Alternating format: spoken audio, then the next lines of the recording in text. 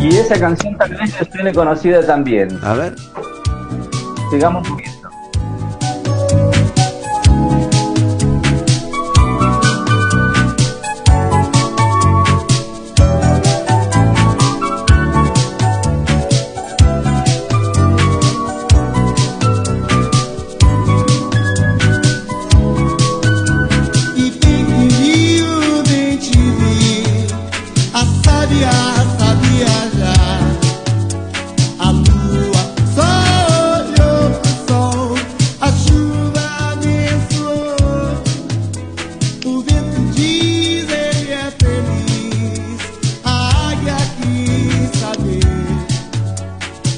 No, la verdad que no, no me suena, pero me suena así a un sonido. He escuchado un segundo a ver. que tiene un refrán.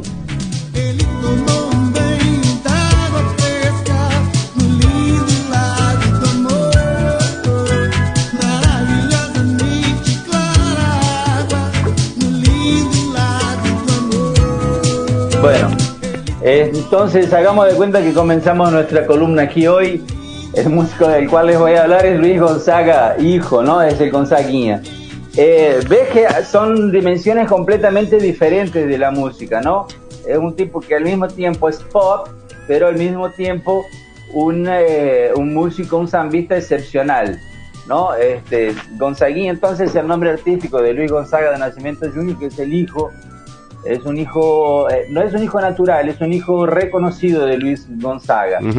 Este, él, bueno, es eh, hijo entonces del cantor eh, del, pernambucano, este, que fue el creador del, del bayón y, de y de, esa genialidad que es el forró, uno de los creadores de eso, de esa genialidad que es el forró. Entonces él crece en un ambiente musical, este, a donde en la juventud, viviendo en Río de Janeiro, él él, es de Río, de, Río conoce a, grandes artistas y hace amistad con, entre otros músicos, una amistad muy fuerte con Iván Lins.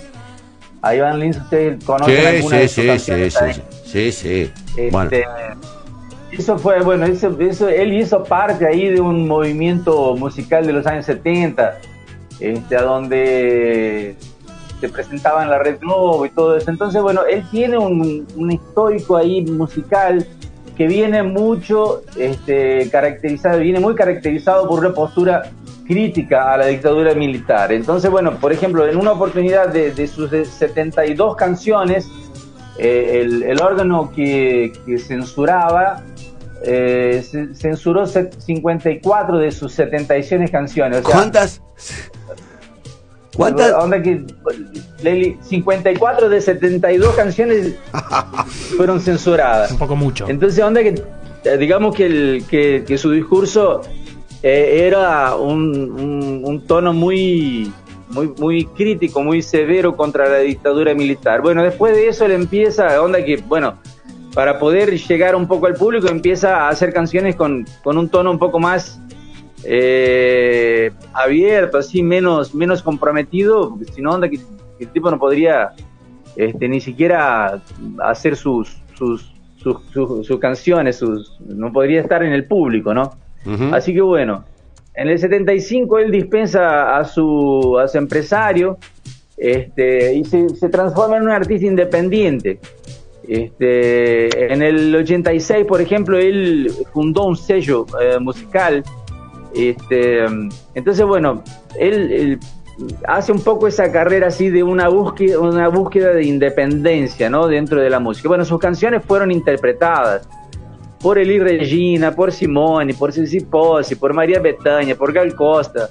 O sea, las grandes intérpretes de la música popular brasilera han interpretado sus canciones. Pero infelizmente él tiene un histórico muy corto porque a los 45 años, en abril del 91, después de haber vivido, vivió un tiempo eh, eh, acá en Belo Horizonte, y, mm, algunos años de vida lo pasó aquí en Belo Horizonte, y en, abril del 91 eh, fallece en un accidente automovilístico. Este, fue una tragedia, porque bueno, murió en Paraná, en, una ciudad llamada Pato, Pato Branco, cerca de, de, de Iguazú, en dirección a, a Iguazú, él se iba con su auto este, a, a tomarse un avión para volver para Belo Horizonte y en el medio del camino se dio un palo con una camioneta y infelizmente eh, murió. Así que bueno, lamentablemente eh, su carrera fue interrumpida en un momento de auge a donde venía con no solamente con todo ese histórico de canciones anteriores que ya habían sido interpretadas por un montón de, de grandes intérpretes, sino que este, también ese, ese modelo de música pop que él venía haciendo de una cosa más popular, este, también se, se vio interrumpido por, ese, por esa muerte tan temprana. Y un, vale resaltar una cuestión que él tenía una cierta diferencia ideológica con su, con su viejo, con el con Luis Gonzaga. Luis Gonzaga era, era, conservador. Entonces tenía una cierta diferencia ideológica que lo, lo distanció durante un buen tiempo así, pero después hicieron las paces, inclusive eh, hicieron shows juntos.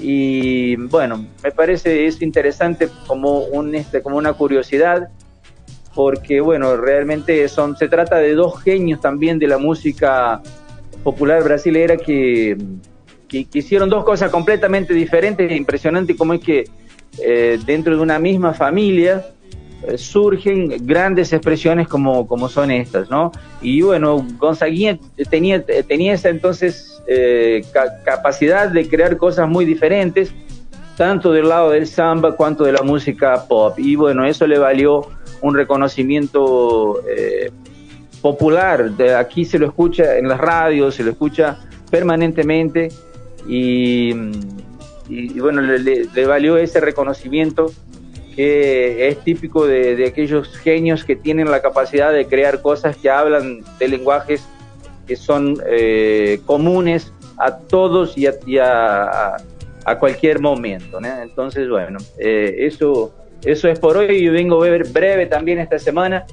Este, con la breve historia de, de, de, de suceso del, gran Gonzaguiña, del, Exactamente, así que bueno. Bueno, Cacho, los dejo con un poco de música, con la alegría, con la alegría de, vivir que, tiene Brasil, que está muy bien representada en ese tema eh, que se llama Kie o Kie, eh, que es justamente el, el tema que, que, bueno, que quería, quería cerrar hoy y despedirme, bueno, con el deseo de que la semana que viene tengamos alguna noticia, que empecemos a tener finalmente alguna noticia mejor de lo que está sucediendo en Brasil. Así que les dejo un gran abrazo. Abrazo grande, loco, un abrazo grande.